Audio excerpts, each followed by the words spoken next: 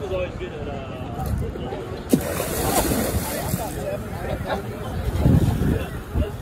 Holy cow, baby. All right, just breathe.